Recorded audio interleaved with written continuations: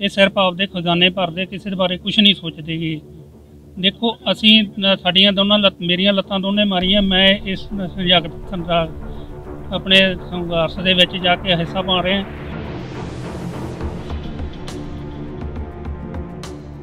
ਸਿੱਧੇ ਮੁੱਦੇ ਤੇ ਹੁਣ ਜਿਹੜੀ ਗੱਲ ਕਰਨ ਵਾਲੀ ਹੈ। ਬਿੱਲਾਂ ਨੂੰ, ਜਿਹੜੇ ਬਿੱਲ ਹੈਗੇ ਉਹਨਾਂ ਨੂੰ ਰੱਦ ਕਰਨ, ਸੌਖੇ ਤਰੀਕੇ ਨਾਲ ਕਰ ਲੈਣਗੇ ਤਾਂ ਚੰਗੀ ਗੱਲ ਹੈ, ਤਾਂ ਨਹੀਂ ਤਾਂ ਫਿਰ ਦੂਜੀ ਤਰ੍ਹਾਂ ਵੀ ਅਸੀਂ ਕਰਨ ਜਾਣਦੇ ਹੈਗੇ। ਇਹ ਨਹੀਂ ਹੈਗਾ ਵੀ ਅਸੀਂ ਜਾਣਦੇ ਨਹੀਂਗੇ। ਅਸੀਂ ਤੂਫਾਨਾਂ ਦੇ ਪੁੱਤਰਾਂ ਤੇ ਤੂਫਾਨ ਹੀ ਹੈਗੇ ਆ ਤਿਆਰੀਆਂ ਪੂਰੀਆਂ ਜੀ ਲੰਗਰਾਂ ਦੀਆਂ ਤਿਆਰੀਆਂ ਜਿਹੜੀਆਂ ਹੈਗੀਆਂ ਅਸੀਂ ਸਾਡੇ 5-6 ਦਿਨ ਹੋ ਗਏ ਆ ਹਲਵਾਈ ਬਿਠਾਏ ਹੋਏ ਆ। ਦੁੱਧ ਦੇ ਖੋਏ ਦੀਆਂ ਪਿੰਨੀਆਂ ਅਸੀਂ ਬਣਾ ਰਹੇ ਆ।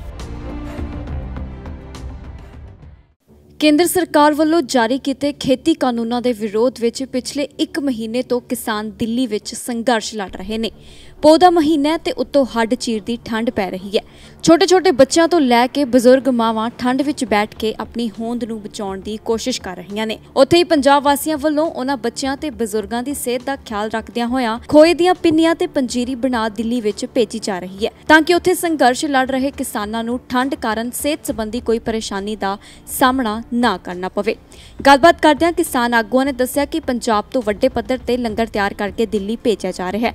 ਇਸ ਮੌਕੇ ਲੰਗਰ ਤੇ ਉੱਠ ਰਹੇ ਸਵਾਲਾਂ ਨੂੰ ਲੈ ਕੇ ਜਦੋਂ ਕਿਸਾਨ ਨਾਲ ਗੱਲਬਾਤ ਕੀਤੀ ਗਈ ਤਾਂ ਉਹਨਾਂ ਕਿਹਾ ਕਿ ਜੋ ਲੰਗਰ ਲਈ ਬਾਹਰ ਦੇ ਦੇਸ਼ਾਂ ਤੋਂ ਫੰਡਿੰਗ ਆਉਣ ਦੀ ਗੱਲ ਕੀਤੀ ਜਾ ਰਹੀ ਹੈ, ਉਹ ਬਿਲਕੁਲ ਝੂਠੀ ਹੈ। ਤੇ ਹੁਣ ਤੱਕ ਜਿੰਨਾ ਵੀ ਲੰਗਰ ਦਿੱਲੀ ਭੇਜਿਆ ਜਾ ਰਿਹਾ ਹੈ, ਉਹ ਸਭ ਪੰਜਾਬ ਦੇ ਪਿੰਡਾਂ ਤੋਂ ਹੀ ਇਕੱਠਾ ਕਰਕੇ ਭੇਜਿਆ ਜਾ ਰਿਹਾ ਹੈ।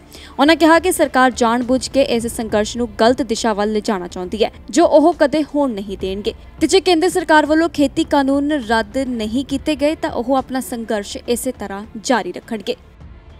ਗੁਰਪ੍ਰੀਤ ਸਿੰਘ ਜੀ। ਜੋਰਾਂ ਸ਼ੋਰਾਂ ਦੀਆਂ ਚੱਲ ਰਹੀਆਂ ਜੀ। ਬਾਬੇ ਨਾਨਕ ਦੀ ਕਿਰਪਾ ਸਦਕਾ ਬਹੁਤ ਹੀ ਵਧੀਆ ਲੰਗਰ ਦੀ ਸੇਵਾ ਚੱਲ ਰਹੀ ਹੈ।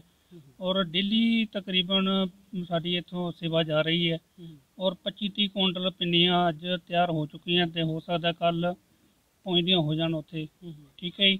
ਔਰ ਇਸ ਇਸੇ ਤਰ੍ਹਾਂ ਹੀ ਸੰਗਤਾਂ ਦੇ ਸਹਿਯੋਗ ਨਾਲ ਡੇਲੀ ਸੇਵਾ ਇੱਥੋਂ ਪਿੰਨੀਆਂ ਦੀ ਗੋਏ ਦੀ ਖੋਏ ਦੀਆਂ ਪਿੰਨੀਆਂ ਦੀ ਜਾ ਰਹੀ ਹੈ।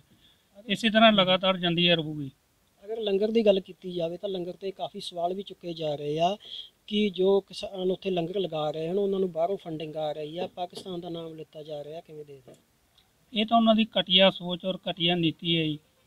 ਇਹ ਫੰਡਿੰਗ ਦੀ ਗੱਲ ਜਿੱਥੋਂ ਤੱਕ ਹੈਗੀ ਹੈ ਸਾਡੀ ਦਸਵੰਧ ਦੀ ਸੇਵਾ ਜਿਹੜੀ ਹੈਗੀ ਹੈ ਲੰਗਰਾਂ ਦੀ ਸੇਵਾ ਲੱਗਦੀ ਹੈਗੀ ਹੈ।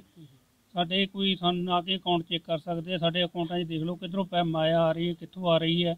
ਅਸੀਂ ਇਹ ਸਾਰੀ ਅਮ, ਤਿਲ ਫੁੱਲ ਭੇਟਾ ਜਿਹੜੀ ਹੈਗੀ ਹੈ ਸੰਗਤਾਂ ਦੀ ਹੈ ਇਹ।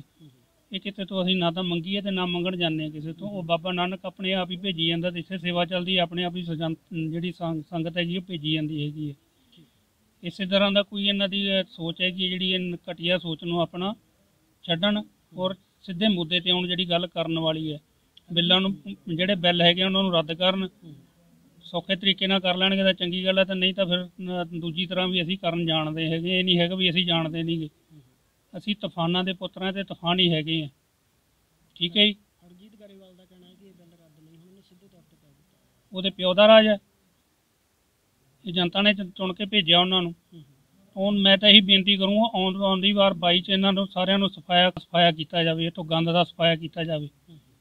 ਇੱਥੋਂ ਕੱਢਿਆ ਜਾਵੇ, ਨਵੀਂ ਜਿਹੜੀ ਜਨਰੇਸ਼ਨ ਅੱਗੇ ਲਿਆਂਦੀ ਜਾਵੇ ਔਰ ਚੰਗਾ ਜਿਹੜਾ ਸੂਝਵਾਨ ਹੈਗੇ, ਉਹਨਾਂ ਨੂੰ ਅੱਗੇ ਲਿਆਂਦਾ ਜਾਵੇ ਔਰ ਜਿਹੜਾ ਦੇਸ਼ ਦਾ ਭਲਾ ਸੋਚਣ।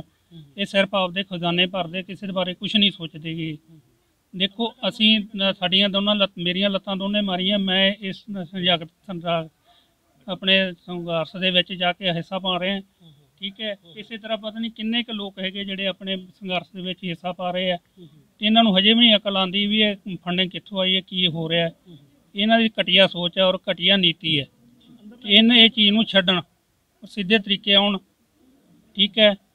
ਜੇ ਸਿੱਧੇ ਤਰੀਕੇ ਨਾ ਆਉਣਗੇ ਤਾਂ ਅਸੀਂ ਦੂਜੀ ਤਰ੍ਹਾਂ ਵੀ ਜਾਣ ਜਾਣਦੇ ਕਿਵੇਂ ਅਸੀਂ ਕਰਾਵਾਂਗੇ। ਠੀਕ ਹੈ ਜੀ। ਵਾਹਿਗੁਰੂ ਜੀ ਕਾ ਖਾਲਸਾ ਵਾਹਿਗੁਰੂ ਜੀ ਕੀ ਫਤਿਹ। ਬੋਲੇ ਸੋ ਨਿਹਾਲ ਜਨਰਲ ਸਕੱਤਰ ਭਾਰਤੀ ਕਿਸਾਨ ਯੂਨੀਅਨ ਲੱਖੋਵਾਲ ਤਲਵੰਡੀ ਭਾਈ। ਬਰਾੜ ਸਾਹਿਬ ਕਿਵੇਂ ਦੀਆਂ ਤਿਆਰੀਆਂ ਚੱਲ ਰਹੀਆਂ ਲੰਗਰ ਨੂੰ ਲੈ ਕੇ? ਤਿਆਰੀਆਂ ਪੂਰੀਆਂ ਜੀ ਲੰਗਰਾਂ ਦੀਆਂ ਤਿਆਰੀਆਂ ਜਿਹੜੀਆਂ ਹੈਗੀਆਂ ਅਸੀਂ ਸਾਡੇ 5-6 ਦਿਨ ਹੋ ਗਏ ਆ ਹਲਵਾਈ ਬਿਠਾਏ ਹੋਏ ਆ। ਦੁੱਧ ਦੇ ਖੋਏ ਦੀਆਂ ਪਿੰਨੀਆਂ ਅਸੀਂ ਬਣਾ ਰਹੇ ਆ। ਔਰ ਅੱਗੇ ਵੀ ਭੇਜ ਚੁੱਕੇ ਆ ਤੇ ਜਿਹੜੀਆਂ ਹੈਗੀਆਂ 25-30 ਕੁਇੰਟਲ ਜਿਹੜੀਆਂ ਹੁਣ ਤਿਆਰ ਹੋਈਆਂ ਪਈਆਂ ਕੱਲ ਜਾਂ ਪਰਸੋਂ ਤੱਕ ਅਸੀਂ ਲੈ ਕੇ ਜਾਵਾਂਗੇ।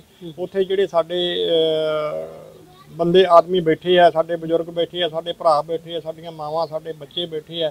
ਬਹੁਤ ਹੀ ਜ਼ਿਆਦਾ ਠੰਡ ਹੋਣ ਕਰਕੇ ਉਹਨਾਂ ਦੀ ਸਿਹਤ ਦਾ ਖਿਆਲ ਰੱਖਦੇ ਹੋਏ ਅਸੀਂ ਖੋਏ ਦੀਆਂ ਪਿੰਨੀਆਂ ਉਹਨਾਂ ਵਾਸਤੇ ਲੈ ਕੇ ਚੱਲੇ ਅਗਰ ਲੰਗਰ ਦੀ ਗੱਲ ਕੀਤੀ ਹੈ ਲੰਗਰ ਨੂੰ ਲੈ ਕੇ ਕਾਫੀ ਸਵਾਲ ਚੁੱਕੇ ਜਾ ਰਹੇ ਆ ਫੰਡਿੰਗ ਦੀ ਗੱਲ ਕੀਤੀ ਜਾ ਰਹੀ ਹੈ ਕਿਵੇਂ ਦੇਖਦੇ? ਇਹ ਇਸ ਤਰ੍ਹਾਂ ਜੀ ਜਿਹੜੀ ਇਹਨਾਂ ਦੀ ਸੋਚ ਆ, ਬਹੁਤ ਘਟੀਆ ਸੋਚ ਹੈ ਗਲਤ ਹੈ ਲੰਗਰਾਂ ਦਾ ਸਾਨੂੰ ਵਿਰਾਸਤ ਦੇ ਵਿੱਚ ਗੁਰੂ ਨਾਨਕ ਸਾਹਿਬ ਨੇ ਲੰਗਰ ਦੀ ਪਰੰਪਰਾ ਚਲਾ ਕੇ ਸਾਨੂੰ ਵਿਰਾਸਤ ਦੇ ਵਿੱਚ ਇਹ ਲੀਹਾਂ ਦਿੱਤੀਆਂ। ਉਹਨਾਂ ਲੀਹਾਂ ਤੇ ਚੱਲਦੇ ਹੋਏ ਅਸੀਂ ਲੰਗਰ ਲਾਉਨੇ ਆ। ਅਸੀਂ ਤਾਂ ਜਾ ਕੇ ਗੁਜ, ਇਹਨਾਂ ਦੇ ਇਹਨਾਂ ਦੇ ਪ੍ਰਧਾਨ ਮੰਤਰੀ ਦੇ ਇਲਾਕੇ ਗੁਜਰਾਤ ਦੇ ਵਿੱਚ ਵੀ ਜਾ ਕੇ ਲੰਗਰ ਲਾਏ। ਇਹਨੂੰ ਇਸ ਗੱਲ ਦਾ ਵੀ ਪਤਾ ਔਰ ਦੂਜੀ ਇਹਨਾਂ ਦੀ ਇੱਡੀ ਘਟੀਆ ਸੋਚ ਹੈ ਕਿ ਸਾਡਾ ਜਿਹੜਾ ਪੰਜਾਬ ਦਾ ਹਰ ਵਰਗ ਹੈ, ਚਾਹੇ ਉਹ ਸਿੱਖ ਹੈ, ਚਾਹੇ ਹਿੰਦੂ ਹੈ, ਚਾਹੇ ਮੁਸਲਮਾਨ ਹੈ, ਈਸਾਈ ਹੈ, ਕੋਈ ਵੀ ਹੈ, ਉਹ ਆਪਦੇ ਦਸਵਾਂ ਦਸੌਂ ਕੱਢ ਕੇ ਰੱਖਦਾ ਹੈ ਘਰੇ। ਇਹੋ ਜੀ ਕੋਈ ਮੁਸੀਬਤ ਪੈ ਜਾਂਦੀ ਹੈ, ਕੋਈ ਉਹਦੇ ਵਾਸਤੇ ਲੰਗਰਾਂ ਦੀ ਲੋੜ ਹੋਵੇ ਜਾਂ ਫਲੱਡ ਆ ਗਿਆ ਜਾਂ ਇਸ ਤਰ੍ਹਾਂ ਕਰਕੇ ਜੇ ਕੋਈ ਕੁਦਰਤੀ ਆਫਤ ਆ ਗਈ ਤੇ ਉੱਥੇ ਜਿਹੜਾ ਹੈਗਾ ਸਾਡਾ ਭਾਈਚਾਰਾ ਸਾਰਾ ਹੀ ਪੰਜਾਬ ਦਾ, ਇਹ ਇਸ ਗੱਲੋਂ ਇਸ ਗੱਲ ਦਾ ਮੋਹਰੀ ਹੈ ਕਿ ਉੱਥੇ ਲੰਗਰ ਲਾ ਕੇ ਉਹ ਪਰੰਪਰਾ ਸ਼ੁਰੂ ਕਰ ਰੰਗਲਾ ਟੀਵੀ ਲਈ ਫਿਰੋਜ਼ਪੁਰ ਤੋਂ ਪਰਮਜੀਤ ਪੰਮਾ ਦੀ ਰਿਪੋਰਟ।